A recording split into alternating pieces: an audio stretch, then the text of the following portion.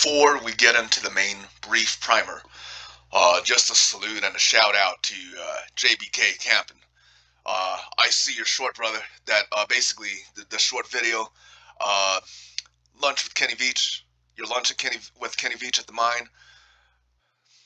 Nice ride, a nice setup, very nice setup, and you know basically salutes to you. So got your comment and responded to it.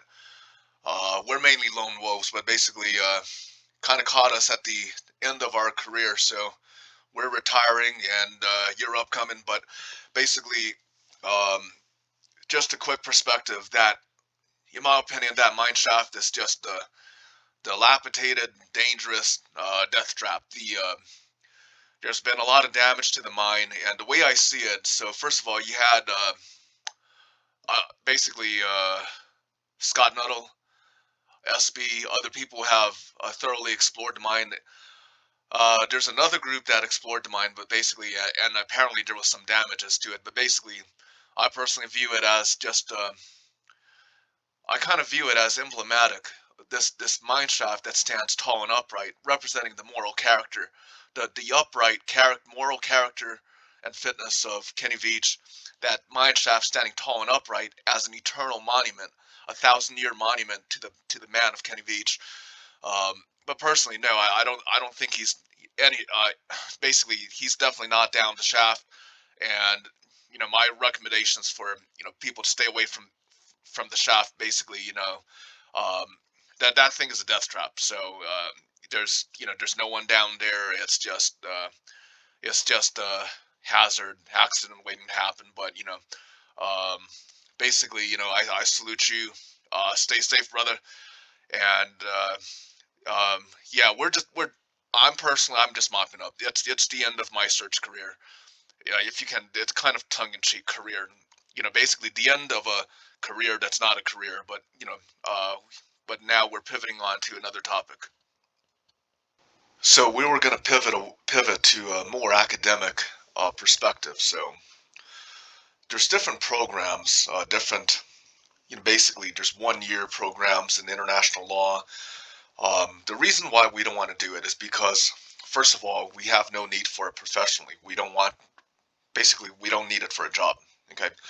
Um, we don't want to basically entrench ourselves into some academic circle. And basically, um, the law is something you can study even on your own, the international law.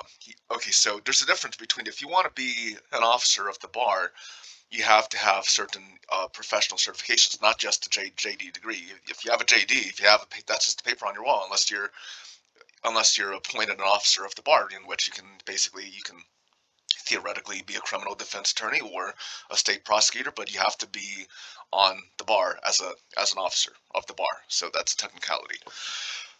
So one aspect, what we want to do is different from the rest of the YouTube world we want to we want to basically uh, do it in an academic way where we we're going to use the description this description field as a sort of uh, basically an abstract with a formal bibliography with sources cited. So basically it's going it's a return to the collegiate system.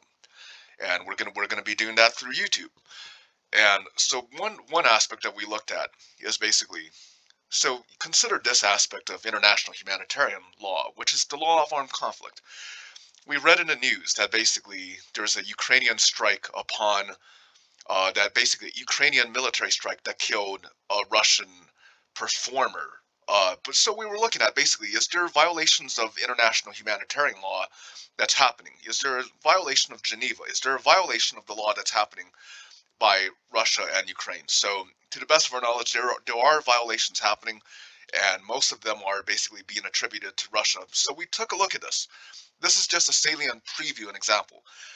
To the best of our knowledge, if the Ukrainian military struck basically a military position, and you, you see in that viral um, whatever news report that basically you see the Russian soldiers concentrated in that theater.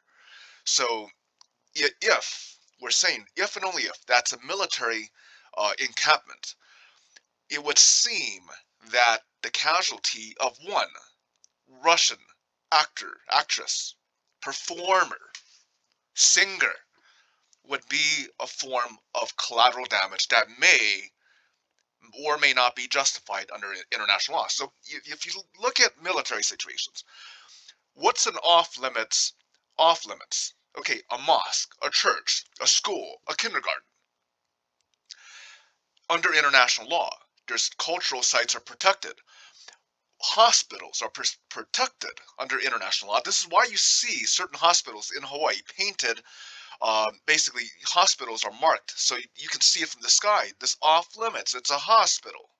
It's a hospital. Don't attack. Okay? You don't attack civilians. When the Japanese Zeros were passing through, uh, what is it, Kaneohe, you, you, you see that scene where the civilians are waving to the Zero pilot. You don't attack, you don't strafe civilians.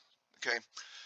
But what happens when a mosque is no longer is converted into an ammunition depot, a weapons cache, where you no longer have worshippers, but primarily militant fighters. Then does the mosque, does a normally protected place lose its protected status?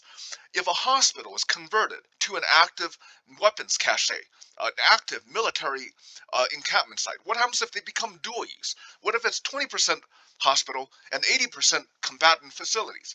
So the law of armed conflict does apply and there are nuances where a mosque is converted uh, so basically in whole to a weapons cache or basically basically a rallying point for militants. So the fact that the Ukrainian struck and killed a Russian singer um, doesn't necessarily imply does not necessarily mean that the law of armed conflict was violated. So you have to look at and apply the protocols, the these specific protocols of the of the laws of international humanitarian law in very carefully. And there's Geneva Conventions, there's the protocols. And again, we, we are we need to do a refresher on this, but we just want to say that the law is very interesting